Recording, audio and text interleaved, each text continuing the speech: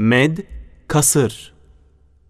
Med kelimesi uzatmak, kasır kelimesi ise kısaltmak demektir. Altına med işareti konulmuş harf, bir elif miktarı uzatılarak okunur.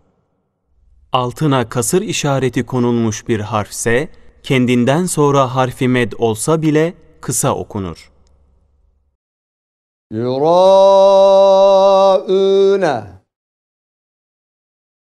ütü. El üle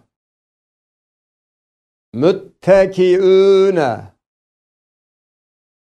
müstehziüne ene. Ülaike ceza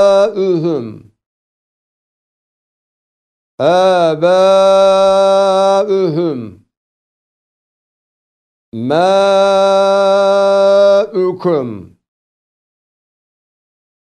الذين هم يراءون